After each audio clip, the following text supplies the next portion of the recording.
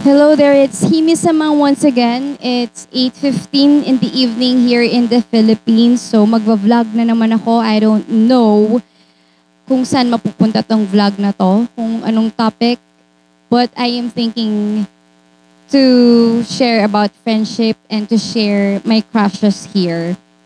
Okay, so friendship. Ang tagal ko nang uh, hindi lumalabas. Uh, it's just really weird. I can't find my old friends.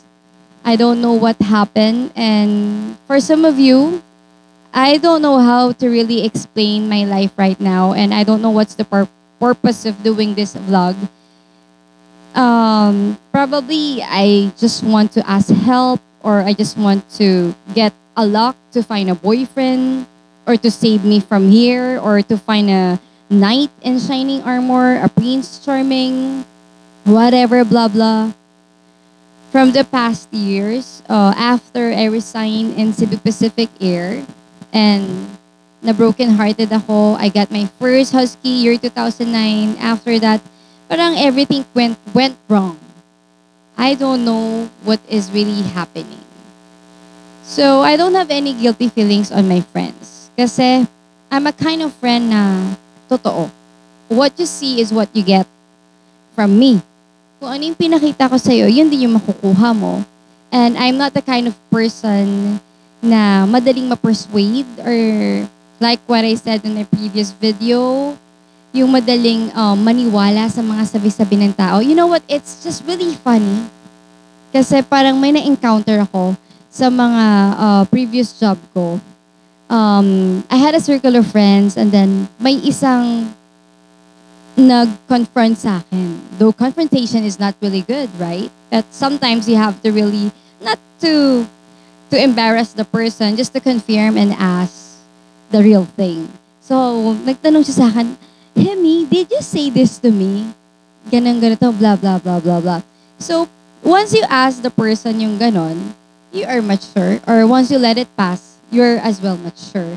Pero, to the other people who will just react negatively na sabi ni ganito, sabi ganyan, sabi mo raw, it's just really funny na I have a relative like that na napaniwala siya ng friends niya o ng friends ko, ng ibang tao or ka-churchmates namin na may sinabi daw ako about her. But I'm gonna uh, put her on a blind item. It's just really weird because we've been together. Uh, we were together. We were together because we're not together right now. So we were together and parang it's just really weird na she didn't really know my my character. Na nashock ako na na siya pa yung um, relative ko, blood related ko, and then siya pa yung nag-react ng negative thing na sinabi niya yon. Parang, ha, it's just really funny na napaniwala nga siya. And sa mga friends naman, schoolmates ko in Immaculate Conception Academy, um, my family is not really perfect. Maraming mga ups and downs these days and from the past years. And until now, I really don't know who are real or who are fake. So, I don't want to pinpoint on uh, verbally. You know, it's just really weird to explain it verbally. And that's why I have my online journal. So, it sounds really classic, right? Nag-online journal ka just for you to put your life um, in detailed list ng mga events mo. Kasi it's just really weird. For 17 years, I lost a moment. And hindi naman kasi ako masamang tao. I'm not judgmental. For some people dyan, sinabi nakita sa himi, unship. But you don't know me from the beginning. Um, and for, you know, getting a boyfriend here and telling that you like him, unship. No, it's not. We we are all people who can do whatever we want as long as you're not smashing other people. It's our right. And we all have the freedom of speech to know the other heart's content of the people. Right? So for me, may narinig lang na, ah, si Hemi. I'm not gonna use my real name here, but call me Peachy. as Himi parang wala siyang utang na loob dun sa nagpalaki sa kanya. Um, that guy kasi, parang he wanted to press me down. So, kung sino ka man, you have an agenda to press me down. Um, hindi porket pinalaki nila ako dito, um, and then I did something, I'm not perfect, but I'm not plastic. Like what I said, I was a choir member in Church of Christ. My heart was really pure. The time that I was there singing, um, praising God, it was all real. So wala talaga akong um, guilty emotion. And then sabi nga, wala daw akong utang na loob. The time that I went out from here, I went somewhere on the other side of the family, on the other side of my on my biological father side. So, I heard a lot of negative things coming from here na sinabi nila. And then, nakarating sa akin and I, I laugh. I laugh on my, on my biological father na, ha? Sinabi nila yon and may sinabi ka raw na ganito and, ha? I didn't say that. Hindi mo kasi alam yung pinagmula ng lahat ng problema. Para sabi mong napakamaldita ko, no. I have maturity. Like kay Mark. Um, basta may nakarating din na parang, um, it's a small world eh. I have born again Christian friends and my biological father is born again Christian then and yun nga, I have link of friends that I've met on different roads different roads before nung nag-active pa ako kung saan saang work. So it's it's just really a small world na parang sasabihin ang sama ko for reacting negatively. Don't judge me if I react negatively kasi hindi mo alam yung pinagmulan nung gulo. So you have to really read my diary, Mark, for you to understand everything.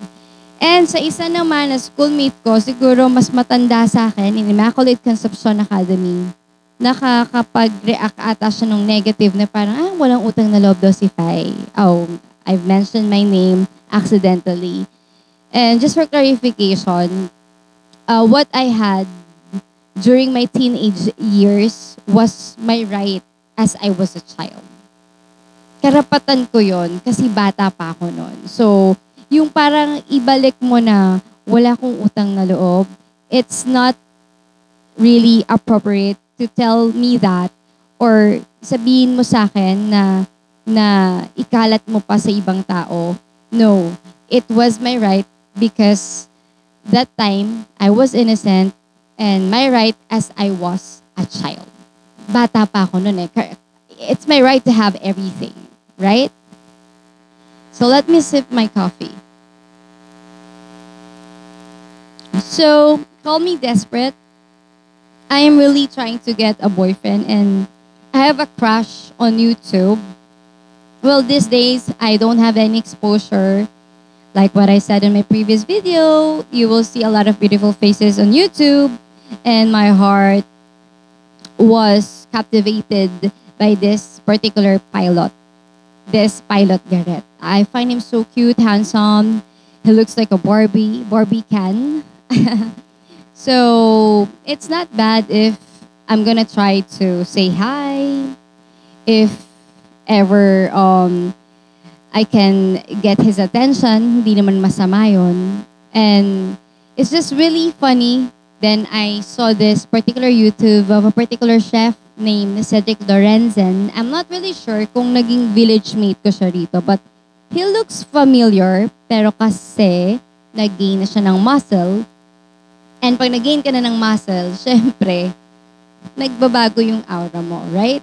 Ako nga, nagpakat lang ng hair, nag-blonde lang ng hair, nag-long hair, ang dami ng issue.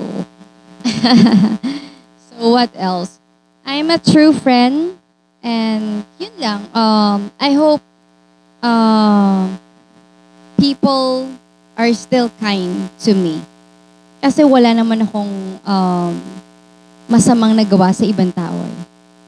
As far as I can remember, and I will try to remember things, I didn't harm people at their back or unfairly. If I don't like you because you did something to me, I'm gonna stray, I'm gonna say that in front of your face.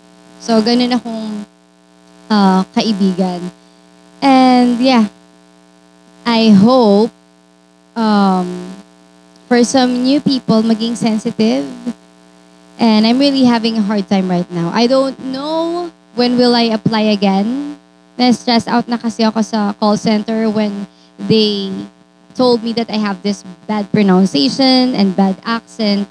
It really affects me so much. So I just need time to rest and revive my confidence. And aside from I feel so ugly these days, I am aging but with no story, aging alone. Uh, Well, I have my nana here and some of the relatives, but of course, when you are maturing and growing old and older, you need someone to be with. And I want to be with someone that I really want, and I think that we can be together forever, 'di ba? Pero ayoko na kasi talagang bumalik sa Pasko. From the past na um, not on Mark. Mark is a different thing. So, kailangan namin talaga mag-usap. Yung Pasko na Pasko na uh, it's not recently. Yung time na you know yourself. Um, kasi it's a different thing eh. Um, ayoko lang nung meron akong kaibigan na lumink doon. Ayoko kasing mag-comment na. Ayokong, ayokong mag-mention ng name. So, my ex from Kalibo, ayoko lang nung may nag-link sa kanya uh, na schoolmate ko and then they kept it for so long at my back. I think it's really unfair. It's really unfair.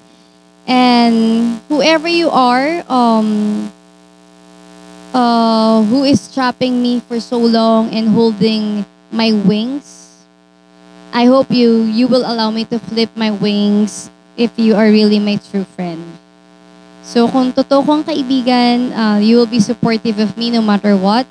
You will not judge me. I never judge any one of you, even on your intelligence, on your family background, on your um, class status. I was never judgmental on my old friends and for some new people that I recently met. I know may mga nagja-judge sa akin because of the cheapness that we're facing right now because we're really having a tight budgeting in the family. Uh, hinto mo na yung pang-judge mo sa akin. Kasi um, hindi mo naman ako kilala. It's just uh, painful. Painful lang in my part. And I hope you will realize na um, pangit yung ginagawa mo. For, for, for judging me and commenting negative things about me na you don't know the start of my story. So, kung nagkapag-comment ka sa akin ng masama, so you have to really watch all of my vlog here. Ewan ko kung may papupuntahan, but I really just want to vent out and being a friend is being there in times of defeat. ba? um, someone who can defend you if other people are pressing you down. That's the kind of friend that I want to have in my life. Yung kayang-kaya kong ipagtanggol. Hindi lang si Superman, but, you know, Snoopy friends na no matter what happened, no matter what happened, nandyan lang, nandyan pa rin sila.